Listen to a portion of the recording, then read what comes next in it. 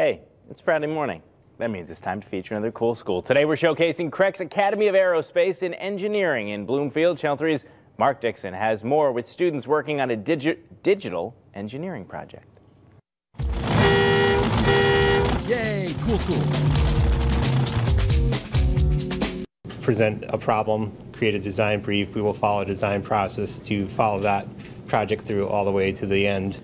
Their problem or task in this digital engineering class to create a product. They can either make a juice carton or they can make a chewing gum package. They make prototypes, refining them to make them better, covering a lot of ground along the way. Engineering design process, so to go from brainstorming an idea to researching and then designing it, and then getting the final product out, and also typography and color schemes. Kayla's product, a gum that provides extra energy. Working at their own pace and different stages, they're self-guided. Kind of a combination between technology and visual design. So we take those elements together to try to communicate to the world like a real life situation. So everything here is hands-on. Basically, you get to see what uh, a lot of companies do, you know, behind the scenes, and it's a cool process. You can understand. You look at the wor your world in a different way. You understand uh, the process that goes behind everything.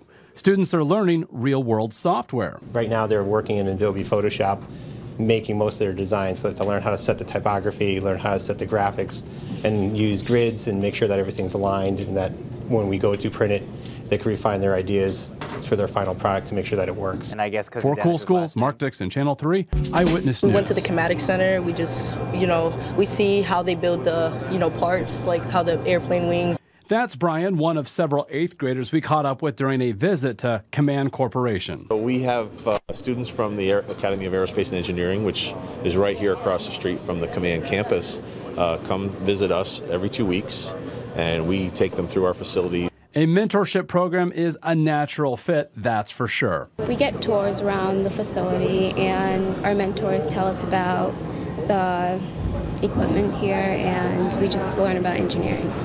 Through a hands-on approach, they enable students to see if this is a field of study they should pursue. A group of kids come in with the mentors and they walk around the different facilities and we talk about technology, we talk about job opportunities. It's an experience for engineers, future engineers, to come see what engineers that are, what engineers are doing now. You know, that we can be in their position in the future. And we have a couple of girls in this group. I think that's awesome because there aren't many women in the fields, and for us to come here, it's a great opportunity. The program is now in its third year. Because we have such great technology that we could share with, uh, with the young people and show them a manufacturing facility and an engineering facility right here in Connecticut uh, thriving. Cool schools! Yes, they are. Mark Dixon, Channel 3, Eyewitness News. You probably all know us by now, but just in case, my name's Artem. My name is Cole. Treyon. My name's Aziz. And I'm Kyla. These eighth grade students are WEB leaders. It stands for Where Everybody Belongs. It's a middle school transition program. It's new this year. Eighth graders had to apply. The program helps integrate new students arriving from over 25 towns. They are helping to transition our new incoming sixth graders. They do a big orientation at the beginning of the year, and now they come in every month and do a lesson with our sixth graders. And to help them learn the skills needed to continue through their middle school years and eventually their high school years. While they meet, they address a variety of topics. They've had different focuses where we've done how to stay focused, how to manage your time. The one coming up this month is going to be how to relax before tests. The session starts with the pledge. I, I agree. Agree. To these agreements. To these agreements. And we're all awesome. And we're all awesome. Then, given this is a STEM school, there is attention to engineering. So the sixth graders were given a team building activity to build a card tower. I want you guys to decide who's going to be the builders and who's going to be the commanders and who's going to be the leaders. They're given five minutes to make a tower. Remember, guys, some people may have different strengths than others, so it's important to recognize these and see who will fit most accordingly. Fast forward to the end. We were supposed to build a car tower. Uh, the goal they said was to who could build the tallest tower, but their real goal was to see who could work together. Eden is certainly onto something. For Cool Schools, Mark Dixon, Channel 3, Eyewitness News.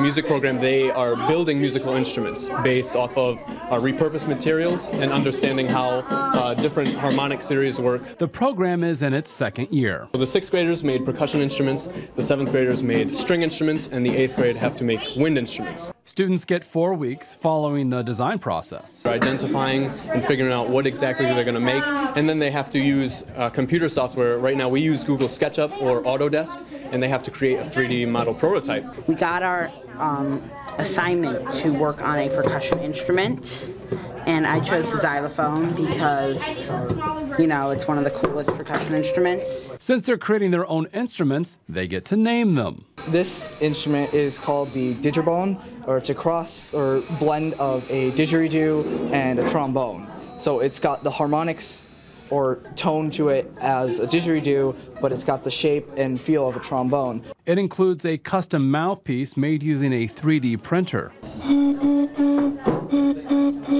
Along the way, there is plenty of problem solving and trial and error. We would have had like a long sort of strip, maybe closer together, so you don't have to move your like head a lot, and then it could be more efficient. So how does this project wrap up? At the end of this, they'll actually end up recording on the computer using microphones, and then they'll mix it to make it sound the way that they want to. Also, the best instrument from each grade gets to be produced by the 3D printer.